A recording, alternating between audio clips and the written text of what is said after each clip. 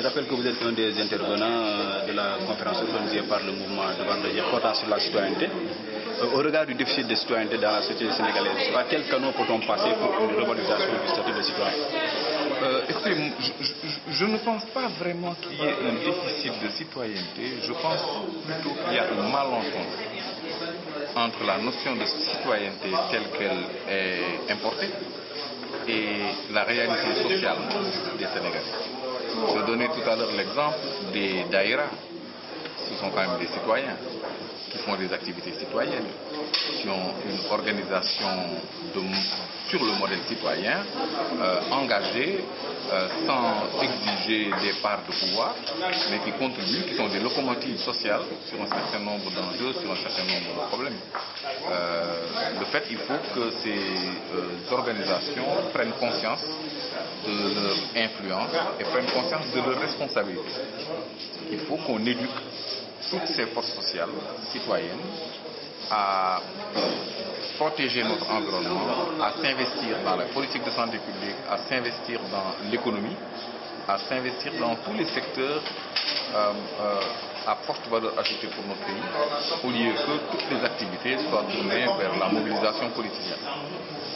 Et à ce niveau-là, euh, il y a un- une espèce de hiatus entre la citoyenneté sociale des Sénégalais et la citoyenneté des élites qui sont tournés vers des enjeux de pouvoir, vers des enjeux électoraux.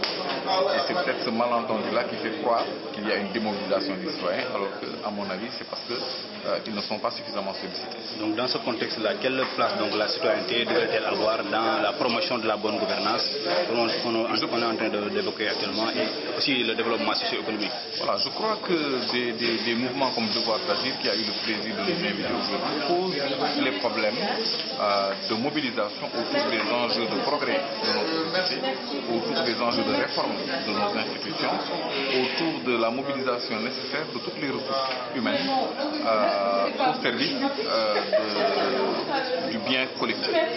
Et je crois que ce sont ce genre de démarches qui vont créer de plus en plus une ambiance de mobilisation ou- autour de l'idée de servir.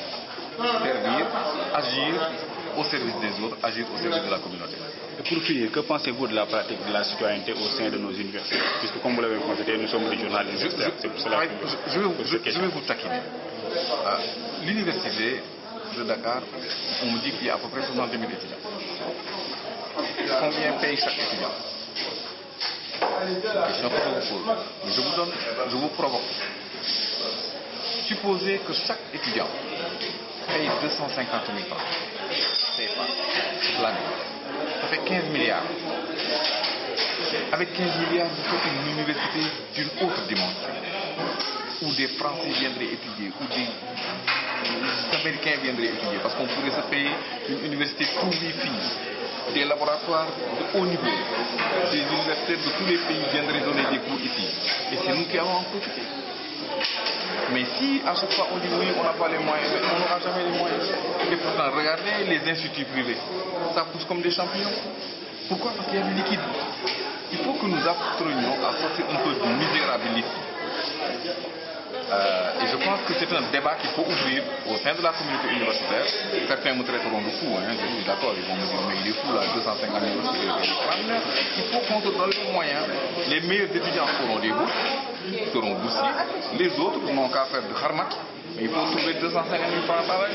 En termes de citoyenneté, quelle, le- le- quelle, euh, en fait, l'image, quelle image l'étudiant doit-il donner Le premier degré de la citoyenneté, c'est de se dire que cette université, que chaque étudiant en fera. C'est ça, c'est ça que je veux vous dire. Le premier degré de citoyenneté, c'est que chaque étudiant doit donner sa part à la communauté universitaire. En termes de moyens, en termes d'engagement citoyen, en termes de veiller sur la, salubrité des toilettes,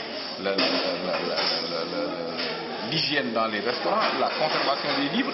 Vous allez à la bibliothèque, vous trouvez des pages déchirées. C'est ça la, la- citoyenneté de l'étudiant. C'est de tout faire pour que les livres soient bien préservés. C'est de tout faire pour que le campus soit propre. C'est de tout faire pour que les professeurs ne soient pas stressés. Chacun apporte sa contribution. Ainsi, on pourra exiger des professeurs des qualités d'enseignement supérieur. La citoyenneté de l'étudiant, c'est d'abord donc de s'engager pour ses études, de contribuer financièrement. Parce que ce système qui date du socialisme n'est plus opérant. Il faut que l'on s'arrête et qu'on se parle. Sans tabou, après on verra comment financer la participation de certains étudiants qui n'ont vraiment pas les moyens. Merci M. Tidiane, le journal universitaire vous remercie.